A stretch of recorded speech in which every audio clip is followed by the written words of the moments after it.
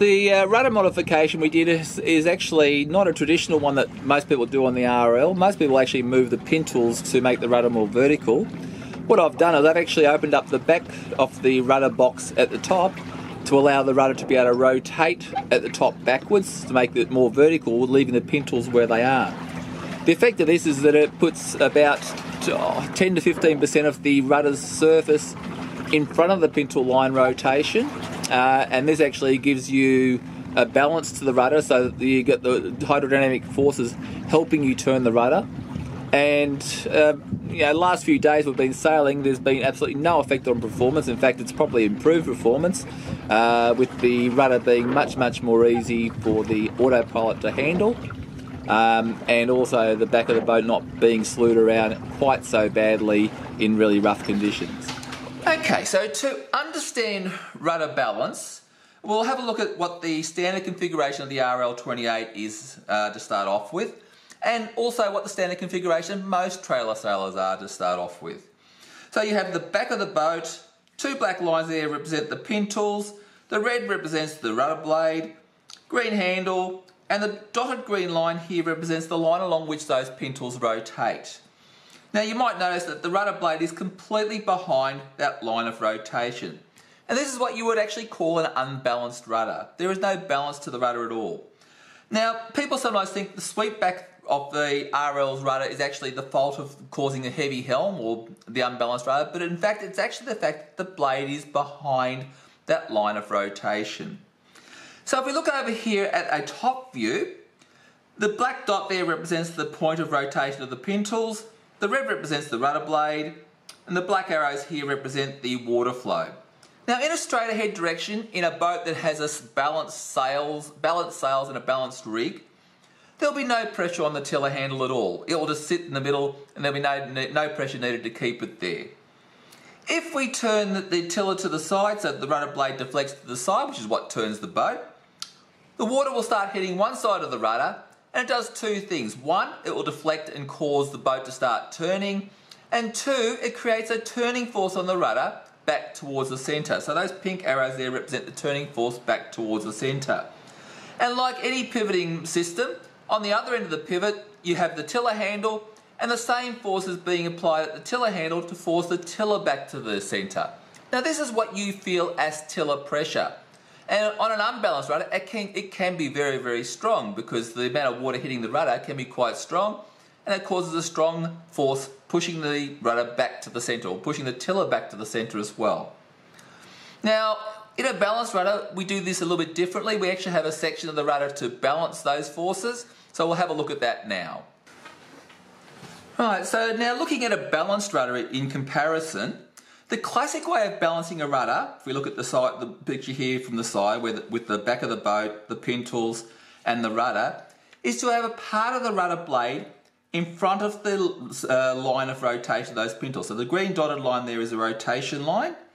And as you can see, there's a section of the rudder in front of that line, and there's a section of the rudder behind that line. Now, classically, uh, most boat builders will tell you that section in front should be about 18% of the wetted surface and that will actually give you balance to the rudder. Now we'll explain how that, why that balances the rudder and why it actually reduce, uh, results in lower tiller pressures. So if we go over to the top view over here, again the flow is going down the page like that.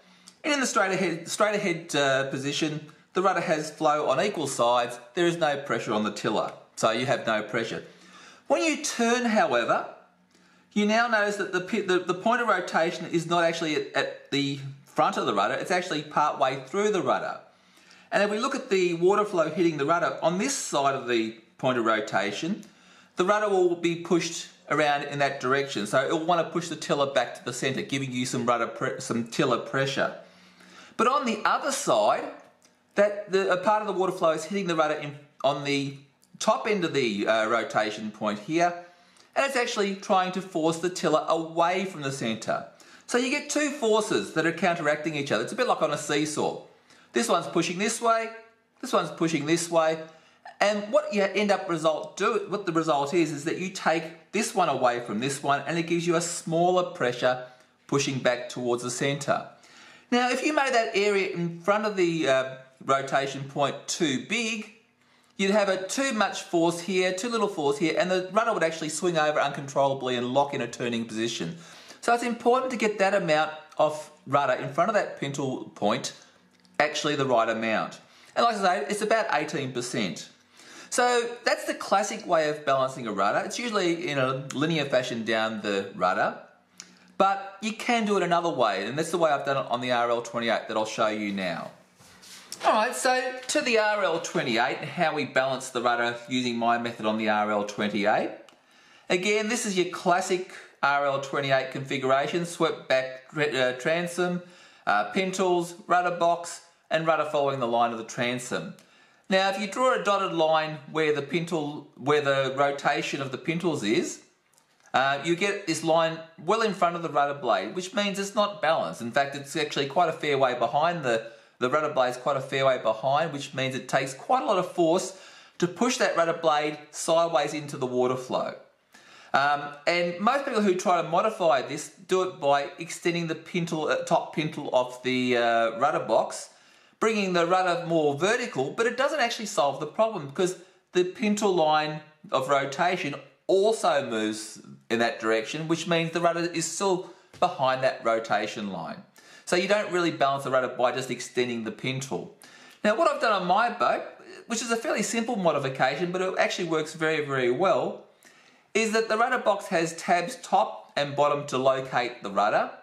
I've removed the top one, created a bracket around the outside of the, the rudder box to allow the rudder to move backwards whilst maintaining the strength of the rudder box.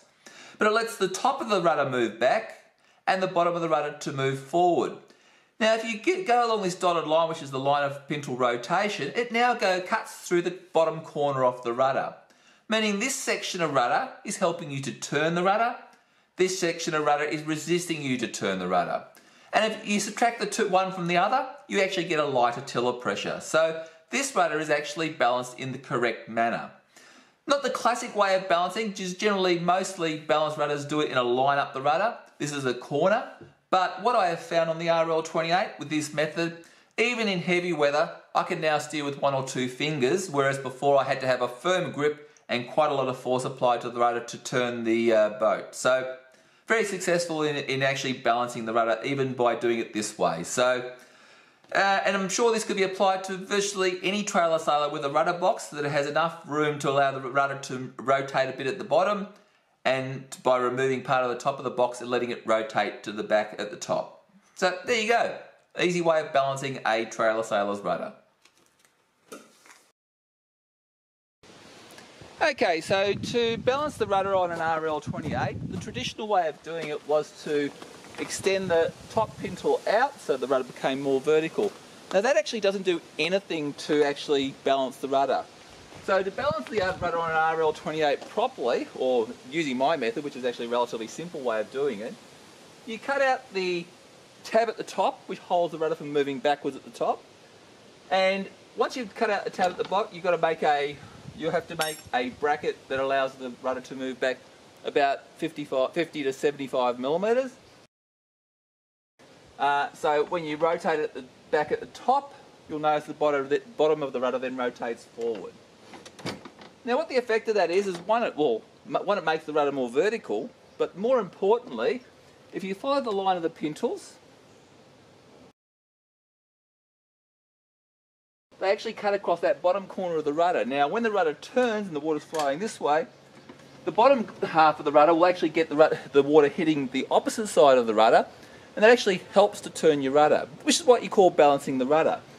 Um, when you just put the rudder more vertically by changing the pintles, on the other hand, that doesn't change anything because the pintles are well in front of the rudder, and you still have the problem with the heavy rudder. So, to balance your rudder, you must move part of the rudder in front of the line of your pintles. And that will actually hydrodynamically actually help you change, uh, steer your rudder and make it very, very light to touch.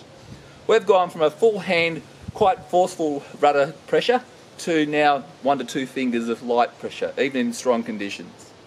Um, and to hold the rudder in place once it's rotated backwards, I've simply made a, uh, a varnish wooden wedge and that goes into the top of the rudder there uh, and that holds the rudder very securely in that position. So there you go, a very simple way of actually getting a balanced rudder on an RL28 and it can be applied to other trailer sailers as well in, with similar sorts of rudder arrangements. Um, and some trailer sailers, I think the Clubman 8, actually have a cassette which allows you to do exactly the same thing. Not the traditional way of balancing a rudder, but very effective. And if you get it all right with a balanced rudder, it will always be a pleasure for your crew to be at the helm.